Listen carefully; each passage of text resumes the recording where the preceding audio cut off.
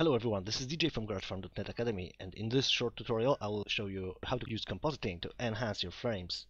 In the previous tutorial I've shown you how to render a camera fly-through animation, a sequence of frames rendered to a multi-layer EXR with multiple render passes. So I'll show you now how to use those passes to get some cool effects and enhance your renders. Let's jump straight into Blender.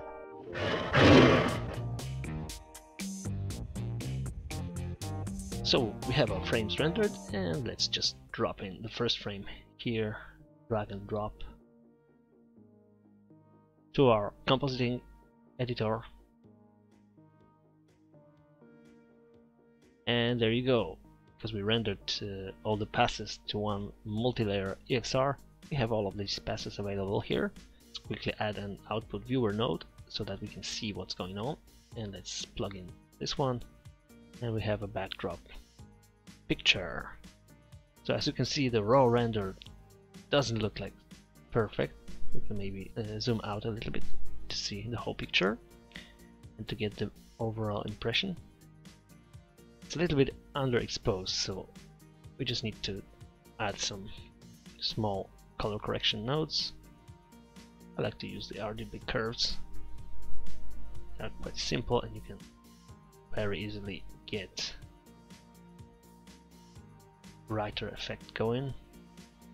Maybe the dark shadows, let's keep them deeper and just brighten up the highlights. Just like that. The thing is a little bit reddish because of the whole brick stuff here, so let's maybe decrease the level of red just a tiny bit all over the picture. Now it's getting bluish. So generally you can play with it, uh, get the settings that you want. So the real power of the compositor is that when you set up the node tree once for a single frame, it will process all of the sequence one by one. You can change here from single image to image sequence. And this way Blender will know that this treats all of the frames in the catalog they are stored in as a sequence. You just have to set up uh, the number of frames. So we have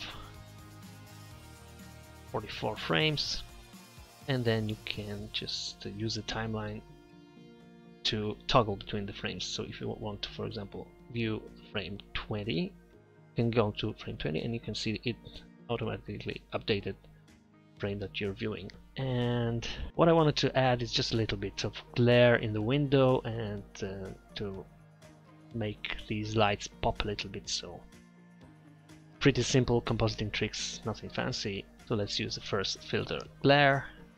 Let's plug it in and it's a little bit strong so this is like a streaks effect. I'd rather this to be a fog glow. This is just like a bloom effect in windows. I think it's it adds up nice touch. Maybe it's a little bit too strong. Just try out different settings. Let me see another pass uh, that is emit pass. And the emission pass gives us just these tiny light spots here. So let's first view these ones and let's add a filter blur to this one. And there you go. Just a little bit of blur. Make it fast Gaussian so it's really fast. Now we'll just add this. With the color node. Color mix setup to screen. These two images. So let me show you the difference. As you can see the lights here and if we press M it mutes the node.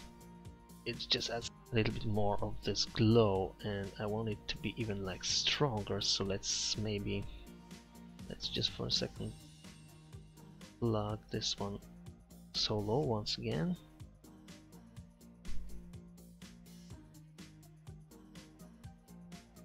We can lower the gamma a bit. 0.9 will be great. Or even 0.8 and now let's maybe increase the, the blur just a little bit. And now let's see if you put a screen have this little glow effect. It's maybe nothing like super fancy, but the overall effect gets this little touch. So these little things like matter to the final overall effect. Maybe I'll also add another screen node just to mix this with uh, the environment. Plug it into the viewer. Maybe not screen, but add. There you go. You can see pops the light in the windows and let's maybe also take care that it's a little bit blurred. So let's just add a fast Gaussian blur to this one as well. Maybe too much of a blur here, so let's just keep it like 3. Yeah, I think that's it for compositing. Of course, these are just like basic tricks. You can do much more with the compositor. Right now, we're just scratching the surface, scratching, out, scratching, out, scratching out the surface. So we can now check the settings. So the size is okay. Frames. Let's set up the output catalog. We have everything ready. Uh, it's set up to PNG, RGBA. It can be just RGB. We don't need an alpha here. Let's also be sure that uh, the post-processing is set up to compositing. Sequencer is not necessary because we didn't use the video sequence editor. So let's be sure that we plug the final node of our setup to the compositing node because this is our output node that will output the final composite frame to the to the new files. So let's now render render animation or press Ctrl F12. And it will run for some time, but a lot faster than a real render because it's just compositing the image. It should be a few minutes depending on the speed of your computer. Going from these raw renders to the compositing frames. So that's it for this tutorial, I hope you liked it, and if you liked it give it a thumbs up and subscribe, and click the bell button to get notified whenever new releases come out. Now just go on and play with the compositor yourself to make your renders great again.